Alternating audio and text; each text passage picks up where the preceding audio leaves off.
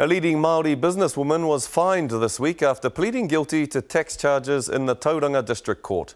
Beverly Ray Adlam was honoured by the Queen in 2008 for services to business. But on Thursday, she admitted she had falsified tax returns, denying the Crown more than $200,000. Tahuri Tumuana was in court. Beverly Adlam was saved the trial of having to plead to all her charges as the judge asked her to simply confirm her guilty plea. In what can only be described as a deal, Adlam pleaded guilty to 24 of the 64 charges against her and the remaining charges were dropped. The court was told by the time the charges had been laid, she had already paid half a million dollars to Inland Revenue to recover the tax, penalties, and interest it was after. Her lawyer claimed her cancer treatment had been a contributing factor.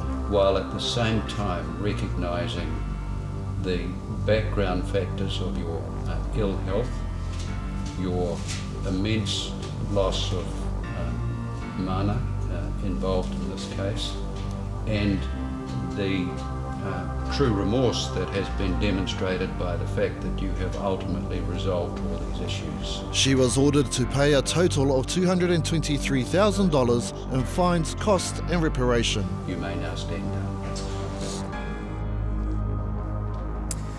While the inland revenue case may be over, Beverly Adlam is still facing a number of Māori land court cases over land trusts she's involved with. As Tahuri Tumuana found, some co-owners are demanding to know what's happened to the wealth generated by their land. There aren't many whānau who can say they have two geothermal power plants operating on their whānau land. Established here in Kawerau, these geothermal plants were the first of their kind in the country. But what should have been a source of pride for the Savage Papakāinga Lands Trust has become a bitter dispute that is currently being contested in the Māori Land courts in Rotorua. Lawrence Niall and his wife are one of seven whānau landowners who have shares in the land. They shared a vision of setting up an initiative that would benefit all of the whānau who whakapapa here.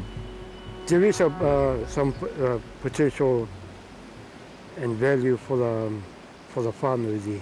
But uh, it's also, um, now that we've got that plant here, it's also taken away the whenua that we were supposed to build our marae on. Yeah, so just um, probably one sore point.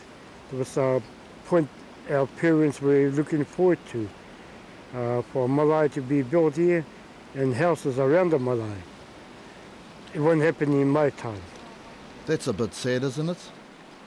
It is sad. He arohai nā nō kei reira. Engari he whakatakariri anō hoki. Uh, nā te mea, te tikanga e mahi ki ana wena e whare hiko i te pūtea, hei whakatui i tētahi marae mo te whānau whānui.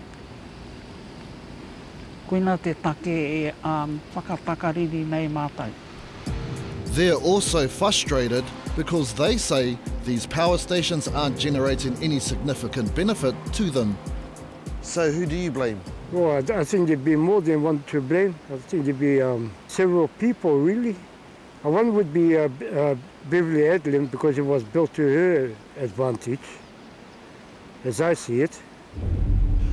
In the early years, Beverly Adlam was a rising star and was instrumental in bringing together the communities of not only Kawerau, but also the wider Bay of Plenty.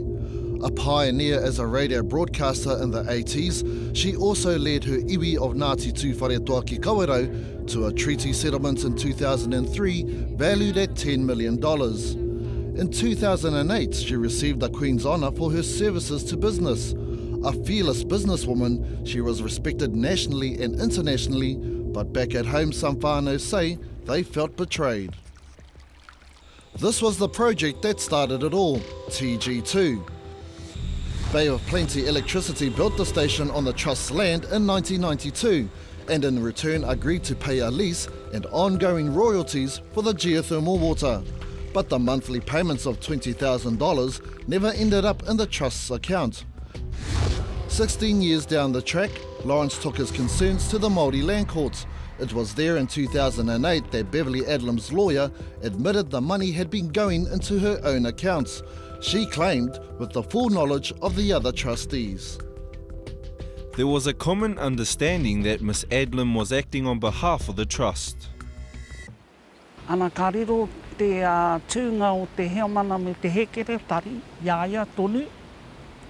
Nā reira, a koe tonu te kaiwhakahaere o ngā mea katoa, ko te take i tāiaia, te mahi pera, nā te mea koe tonu i te pupuri i ngā mohi o tanga katoa. Kare noe ho mātou ngā um, tangata uh, whaipānga hea ki te whenua, i te mohi o ea tana e rātau. By 2008, an estimated $3.8 million had been paid by BOP. The court ordered that all future payments be put into a trust until it had sorted out who was entitled to what. The court suspended Beverly Adlam from the trust until it sorted out who had done what. The case is still ongoing four years later.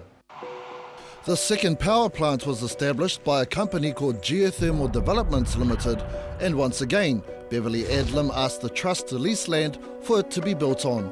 But Lawrence Niall claims at the time he had no idea that Geothermal Developments Limited was Beverly Adlam's company and that she was the sole director and shareholder. I think the whole family put their faith into her. Mm.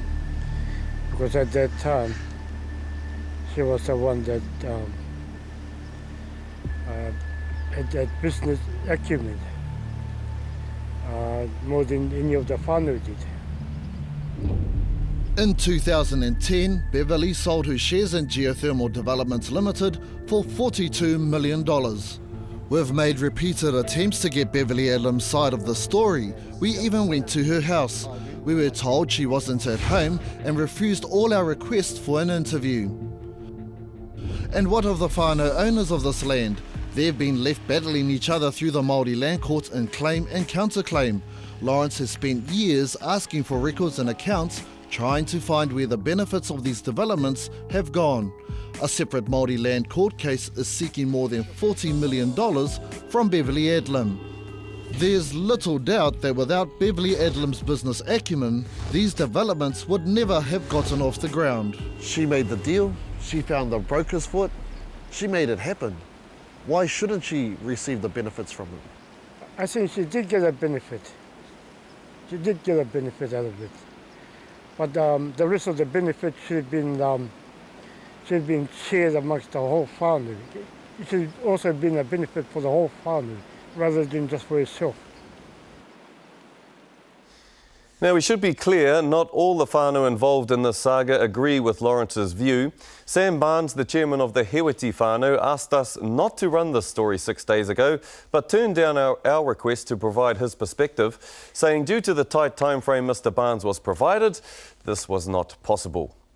We've tried to get balance in this story and we acknowledge that it's a complex issue still before the Māori Land Court. But the situation this whānau find themselves in raises questions that affect many Māori land owners. How do owners keep trusts accountable for what's happening on their land? And why do disputes take so long to be resolved? Those are questions we'll be raising in the coming weeks. If you have questions about Māori land issues you're having, please let us know.